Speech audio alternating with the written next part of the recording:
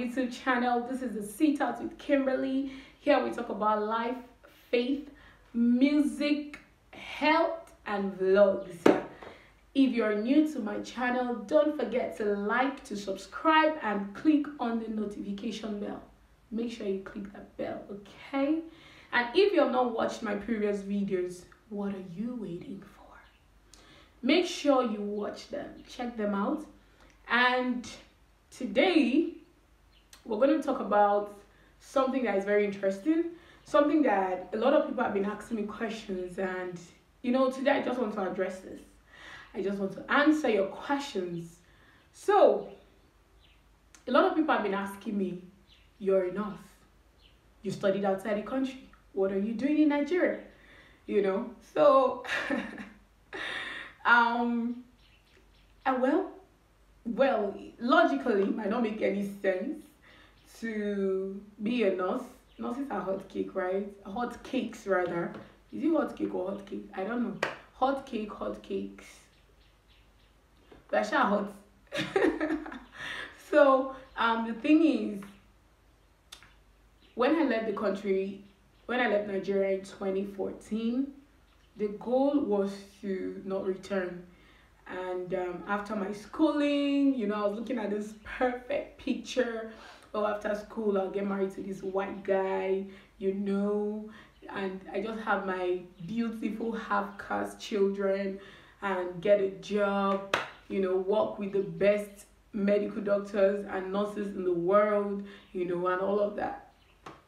So i had dreams i had goals and all of that. So fast forward to 2018 there was an opportunity for me. I schooled in Cyprus, by the way. If you have watched my previous videos, I think you should know. Um, fast forward to 2018, there was an opportunity for me to go to the US, and I did. I was in Wildwood. I was staying in Wildwood, New Jersey. So um, my parents were like, okay, and my uncle also stays in in the US. He lives in Illinois. So they were like, okay, what's the point of you returning to Cyprus, why don't you stay back in the US and finish up your school and all of that? And I said, um, I I actually welcomed the idea and I started looking at schools in the US. So I applied to a school in Philadelphia. Philadelphia is not so far from New Jersey. So I was supposed to go and meet with the school. I think they had this campus tour that they were doing at the time and they wanted me to come over. But I was just not freaked out about it and I, I, I didn't go. I stayed back home. So um, I applied to another school, or I started looking at another school. I think the name is Grand Canyon University. It's a very good school, by the way.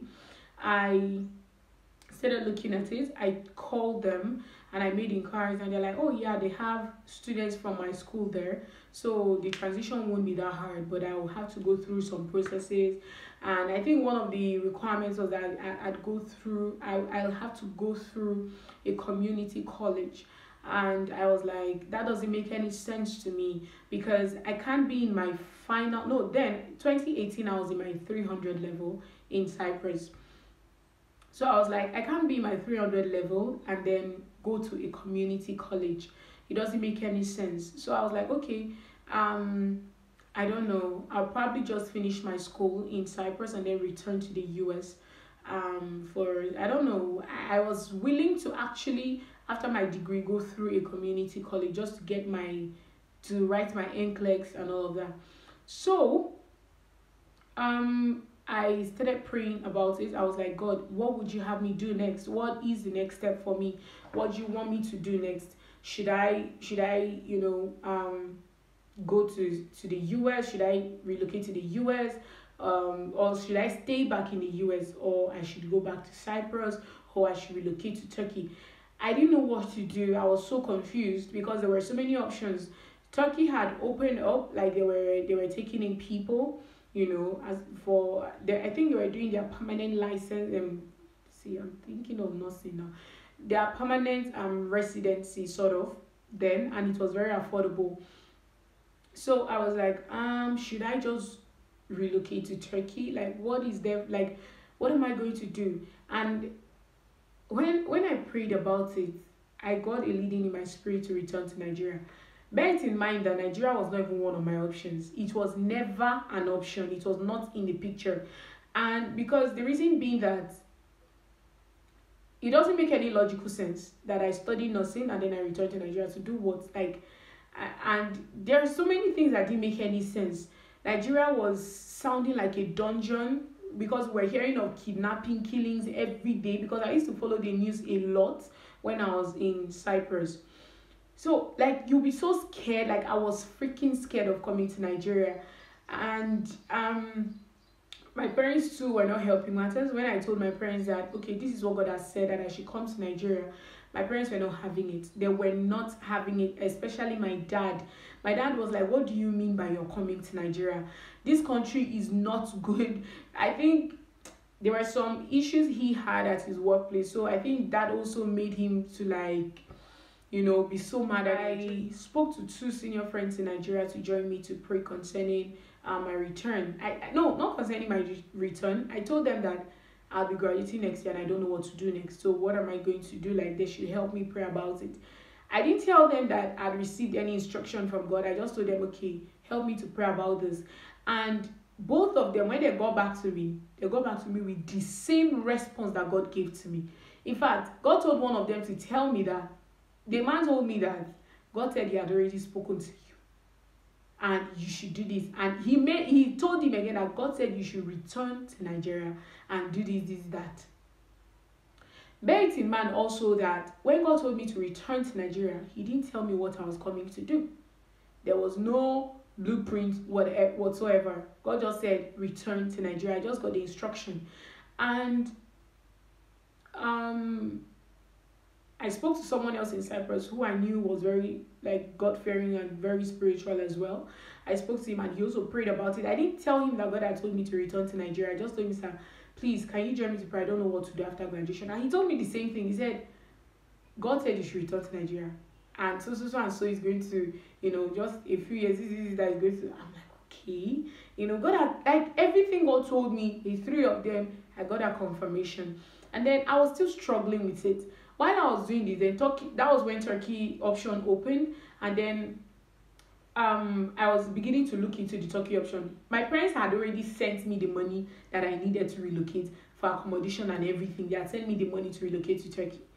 So my friend, um, he was like, um, that one thing he knows is that when God is is about to give you something big, that the devil always brings something that looks like it and try to block your vision. If you're not careful, you will miss it. So when he told me that, that was like a, you know, a, I'm like, um, hmm. that was like a, a ginger to like follow what God had said to me, you know. So I was like, okay, I just had that, I just kept it in my palm. I'm like, okay, let me just hold on to this. And then I was telling God, I said, God, as I'm going to Nigeria, if anything happens to me, I hold you responsible. I was like, God, I will hold you responsible if anything happens to me because you are the one that asked me to go. And I want you, you will be the one to take care of everything. I'm sure God was just looking at me and saying, This girl, you don't even know what you're saying. So um I came back, I think August August 4th, 2019. I returned and you know, I came first three days i told my dad i'm going back i can't stay in this country I couldn't eat anything. It, like I lost my appetite totally. There was nothing that was appetizing to me, and the everything everything. Sorry guys, my speaker. Everything was looking so weird to me. I went. I think we passed through the market one time, and then I saw vegetables on the floor. I'm like, Daddy, why are these vegetables on the? I was literally complaining about everything. Like I couldn't because throughout my stay in school i didn't come home. I i, I rather went to i went to the us for summer holidays so i didn't come back to nigeria at all. So when i got back it, it was not long. It was just four years but like so many things had changed. Like so many things had changed. I was finding everything so difficult to tolerate. I was i was in fact it was just too much for me. And you know I was like, God, are you really sure? It's not too late though. My visa, my I still have my my this Mojerat, that is my resident permit. I can still go back home. And then my dad was like, Well, you're home. If you say God told you to come back, then you're not going back. There is no point returning. You're already here. So um I came home the first day I returned at the airport. There, I stepped my foot on it and I, I spoke to the ground of Nigeria. I said, I speak to this land. You will be good to me. You will favor me. What holds other people captive will not hold me captive. And I prayed and I prayed. When I was done, I went home. You know, so um, like coming back, I think I think a few weeks after I returned, my mom was like, there was something that happened, and my mom was like, ah now we can see why God has asked you to come back. It's more evident, it's clearer now. You know, I wasn't even really paying attention to it that much, but like things that were happening, eh, I can't give you details, but like the things that were happening were were massive. I'm like, really? Like, if I hadn't come home, these things wouldn't have happened, you know? So so many things were happening that were for my good, for the good of my ministry, for the good of my career, you know, for the good of everything that, you know, that I was doing. And I was happy that I returned because if I hadn't returned, some of some of the things that I was also learning wouldn't have been possible. God was building my character. In fact, He's still building my character. He's working on so many things in my life. And I look back and I'm like, I'm happy that I came, you know. So all those things were happening. Bear it in mind that I didn't have a full picture of what I was coming to do, but I still followed. One thing with God is you just need to obey. As long as you are sure that this is God speaking to you, all you need to do is to obey and follow His instruction. Trust me, you will not miss it. I don't know the point of your life where you are at at the moment, but one thing I want to say to you is that don't take any decision based on what is looking more palatable or what looks more beautiful to you right now. Follow God's leading and follow God's instruction. It might not look sweet, it might not look palatable. In fact, it might look like it might look like the worst decision that you have ever made in your life. It might look like the most stupid decision you have ever made. But just as long as God has told you, make sure you follow, make sure that you follow suit to the end. And another thing I want to say is that most times when God speaks to us, we don't we don't wait to hear God speak the next word before we move. Like, let me let me how do I say this now? Like when God gives us a word and then you now move according to that word, you don't go back to God to now ask, oh, Lord, okay, what? Do you understand? You need to hear God for every season of your life.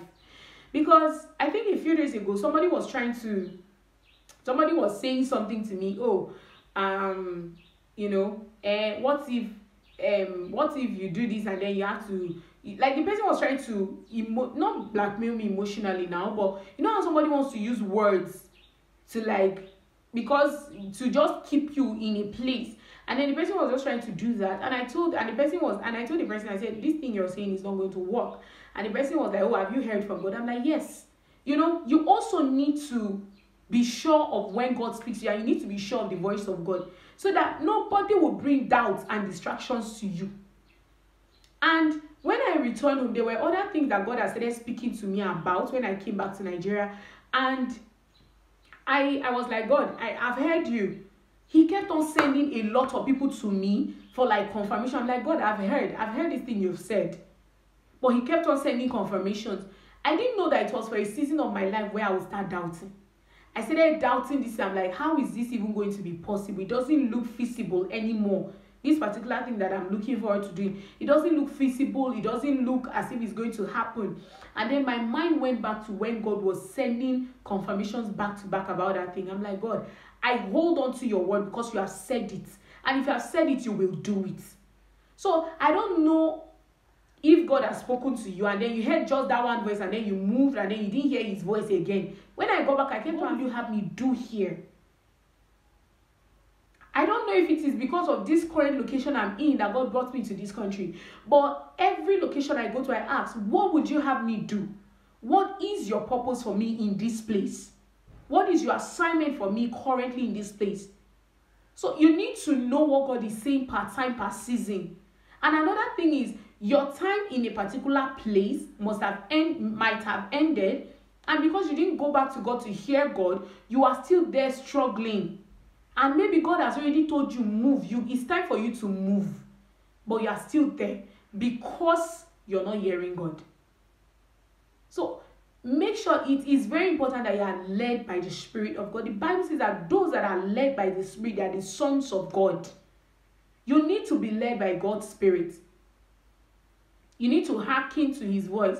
And it's not you not just wake up one morning and say oh yeah god oh i want to get married or i want to what do i do next? Should i move to this place now it's something you have to keep constantly practicing and lest i forget to say this one reason why my parents were able to just allow me to return without much quarrel or much problems was because there was a proven track record ever since i was a kid God speaks to me about stuff. And when I tell them, because like when I was growing up, if I see anything in a vision, I will tell my parents. I wake up immediately to tell my dad, especially. And then once I tell them, it's just a matter of time, it will happen. So, because of that track record, my parents didn't argue with me when I told them that this is what God has asked me to do.